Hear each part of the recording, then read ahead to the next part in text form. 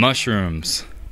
They're an excellent source of nutrients and great addition to any diet. The practice of farming mushrooms does not only provide a means for a healthier diet, but done correctly can be an additional or even primary form of income for a family or community. A few methods are possible, such as the low bed method or traditional pit method. But here, we're just going to focus on the simple but more advanced and lucrative bag method.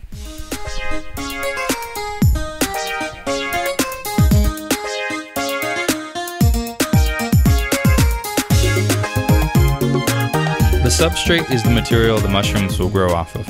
Sawdust from a local wood shop is both a common and cheap material to use. For every 100 kilograms of sawdust, it is suggested to add 7 kilograms of lime and 35 kilograms of wheat or rice bran. Chicken manure is also added sometimes for a nitrogen boost.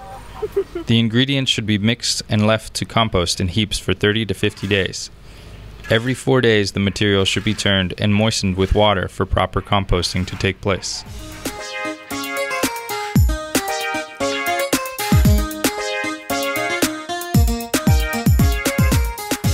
You will need clear plastic bags, pieces of PVC piping 2 centimeters in diameter, cotton, and rubber bands or ties. Fill your clear plastic bags with the composted material as shown, leaving room at the top of the bags.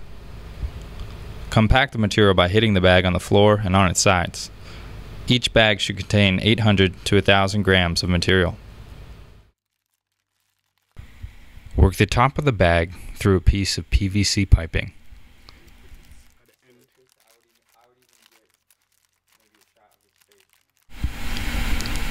Then secure it with the rubber band.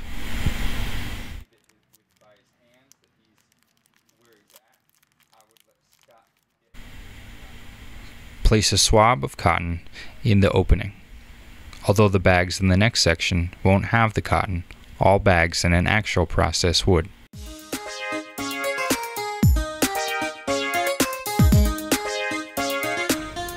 Substrate must be sterilized through steaming to kill all microorganisms that might compete with the mushrooms. You will need a large metal barrel with a secure lid, a 12 centimeter wooden grate or stand to elevate your bags within the barrel, water, and of course a fire. Put your grate or stand in the barrel and add water to just below the top of the stand. Fill your barrel with the bag substrate. Stack them with the openings up except for the top row which should be inverted to prevent excess moisture from dripping down from the lid and spoiling the bags. 75 to 80 bags can fit in most barrels. Secure the lid, start your fire, and allow your process of steaming to begin. Steam your bags for 3 to 4 hours, then allow your bags to cool.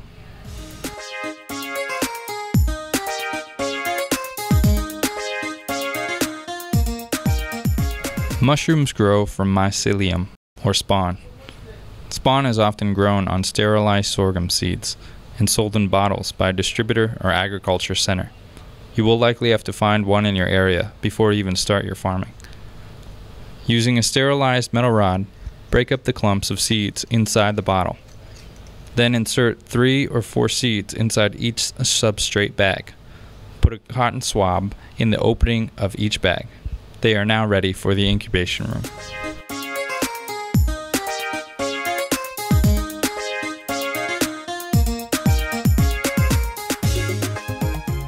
An incubation room should be dark, dry, and ventilated.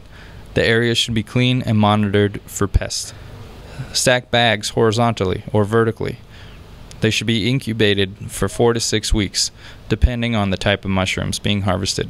Check the bags for signs of contamination, such as black, red, green, or orange spots. Remove any contaminated bags.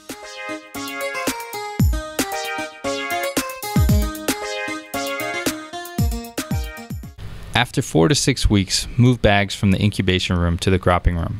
Light and airflow should be allowed into this area to promote growth from your bags. Before stacking the bags, remove the cotton, rubber band, and PVC piping. Then open the bag and cut a slit from the start of the top of the substrate to the top of the bag. The bag should then be stacked with all slits facing the floor. The substrate should remain moist and cool, therefore, the open ends should be periodically sprayed with water.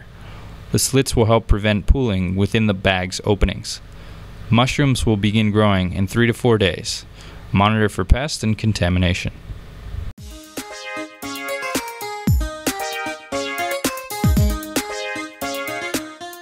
Start harvesting the mushrooms three to four days after they appear. Cut them at the base and remove the ends before collecting them in a bowl or basket.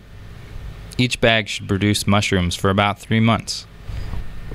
Mushrooms can be bagged and sold for year round income and nutrition, enjoyed by both adults and growing children.